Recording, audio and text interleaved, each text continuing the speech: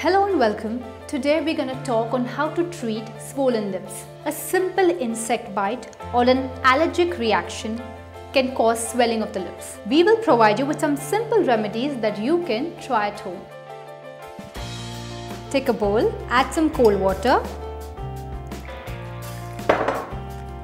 add a teaspoon of turmeric to it, mix it well, apply this mixture on the affected area and leave it on until it dries.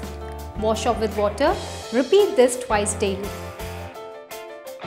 This is an another way by which the swelling can come under control. Take a bowl of warm water, take a cloth, soak it in and press it on the swollen part for about 8 to 10 minutes. Repeat this every hour until you feel better. Thanks for watching this video. I hope these remedies help you. Stay healthy.